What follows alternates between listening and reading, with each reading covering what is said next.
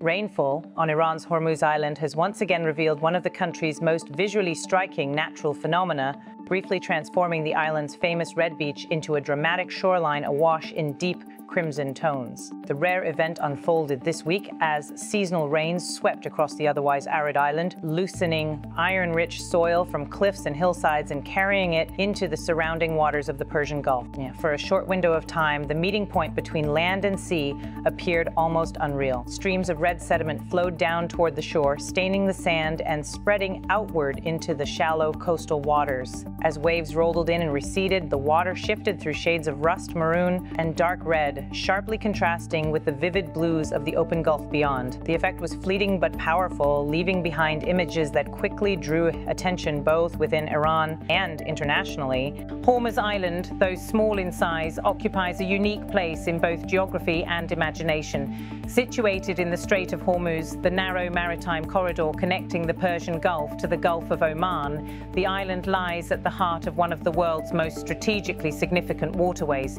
Yet despite its proximity proximity to global shipping lanes and geopolitical flashpoints, Hormuz itself is defined less by politics and more by its extraordinary natural features.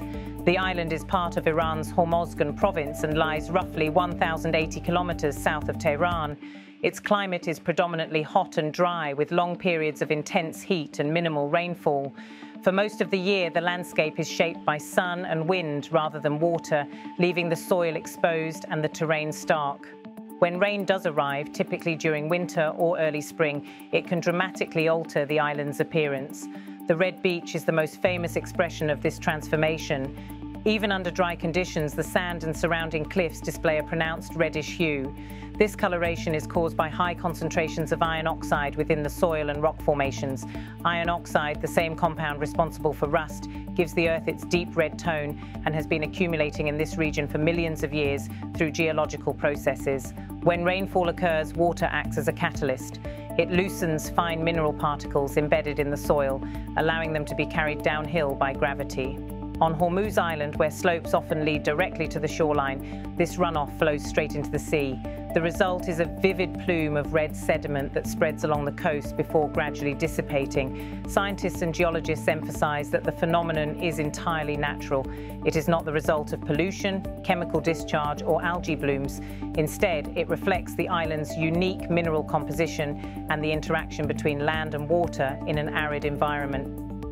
Similar processes occur in other parts of the world with iron-rich soils, but few places display the effect as clearly or dramatically as Hormuz. The timing of this year's rainfall made the event particularly notable. Rain is relatively rare on the island, and sustained precipitation is even less common. When it does occur, it often comes in short, intense bursts rather than prolonged storms. These sudden downpours are especially effective at mobilizing surface sediment, creating the conditions necessary for the crimson, crimson transformation. For residents of Hormuz Island, the event is both familiar and exceptional. Many have witnessed similar scenes in previous years, yet each occurrence feels unique because of its unpredictability. The exact intensity, duration, and visual impact depend on rainfall volume, tidal conditions, and wind patterns. In some years, the red coloration remains close to shore, in others, it spreads farther into the water, creating sweeping bands of color visible from elevated um, viewpoints. Visitors, by contrast, often encounter the phenomenon for the first time. In recent years, Hormuz Island has become an increasingly popular destination for domestic tourism. Travelers are drawn by its unusual landscapes, which include multicolored mountains, salt domes, rocky valleys, and quiet beaches untouched by large-scale development. The Red Beach in particular has become a focal point for photographers and nature enthusiasts. Social media has amplified the island's visibility. Images of red waves lapping against crimson sand circulate widely whenever the phenomenon occurs, often prompting disbelief among viewers unfamiliar with the island's geology.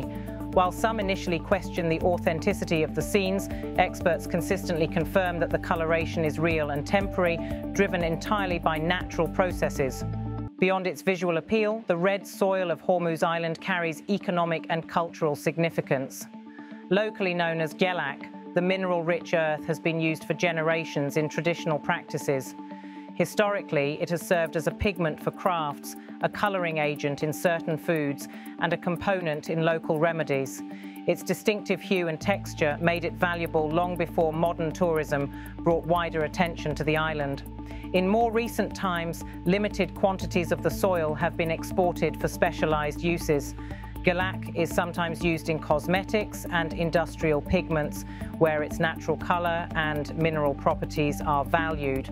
However, extraction is tightly regulated. Authorities and environmental advocates have raised concerns about over-harvesting, emphasizing the need to protect the island's fragile ecosystem. Hormuz Island's geological uniqueness is the result of complex processes spanning millions of years. The island sits atop a salt dome, a geological structure formed when underground salt deposits push upward through overlying rock layers. This movement brings a variety of minerals to the surface, creating the island's distinctive palette of reds, yellows, whites and browns. The red beach is just one visible expression of this deeper geological story. Environmental experts note that the island's beauty is inseparable from its vulnerability. The same conditions that create such striking landscapes also make them susceptible to damage. Foot traffic, unauthorized soil collection and unregulated development can alter surface layers and disrupt natural drainage patterns. In response, local authorities have increasingly emphasized conservation and responsible tourism. Efforts to promote sustainable travel on Hormuz Island include awareness campaigns encouraging visitors to observe rather than disturb the environment. Signs and guides remind tourists not to remove soil or rocks, and community-led initiatives aim to balance economic opportunity with preservation. The goal is to ensure that future generations can witness the island's natural phenomena without degradation. In Kicking, the island's location in the Strait of Hormuz adds an additional layer of global relevance.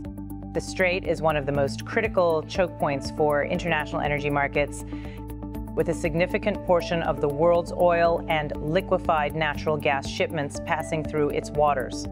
While geopolitical tensions in the region often dominate headlines, the Red Beach phenomenon offers a reminder that the strait is also part of a living natural system. Marine scientists point out that sediment runoff from the island has minimal long-term impact on the surrounding ecosystem. The iron-rich particles are quickly diluted and redistributed by tides and currents. Within days, the water returns to its typical clarity and marine life continues largely unaffected. This resilience underscores the dynamic balance between land and sea in coastal environments. For Iran, scenes from Hormuz Island provide a counterpoint to more familiar narratives. International coverage of the country often focuses on politics, sanctions, and regional tensions. The Crimson Shoreline, by contrast, highlights Iran's environmental diversity and cultural richness. It presents an image of the country rooted in natural wonder rather than conflict. The phenomenon also invites broader reflection on climate and weather patterns in the Middle East. While there is no evidence that Hormuz Island's red beach events are becoming more frequent, scientists continue to study how changing climate conditions may affect rainfall distribution in arid regions. Even small shifts in precipitation can have outsized visual and ecological effects in landscapes accustomed to dryness. For local communities, the rain brings mixed feelings. While it creates spectacular scenery and draws visitors, it can also disrupt daily life on an island with limited infrastructure. Roads may become muddy and services can be temporarily affected, yet the overall sentiment tends to be one of appreciation, as rainfall is a rare and valuable resource in such an environment. As the rain subsides and the tides continue their work, the crimson hues gradually fade, the red sediment settles back onto the beach or disperses into the Gulf, leaving behind a shoreline that, while still reddish, no longer appears dramatically transformed. The island returns to its quieter state, its colours muted by dry air and bright sunlight. What remains are images, memories, and a renewed sense of connection between geology and weather. The event serves as a reminder that landscapes are not static, even in places that appear unchanging for much of the year. On Hormuz Island, a single rainstorm can briefly redraw the boundary between land and sea, revealing the hidden chemistry of the earth beneath. In the end, the crimson spectacle is not simply a visual curiosity. It is a moment where time, minerals, and climate intersect, offering a glimpse into processes that have shaped the island for millennia. For those who witness it firsthand, the red waves of Hormuz Island are unforgettable. For those who see it from afar, they offer a powerful image of nature's ability to surprise, even in the most familiar places.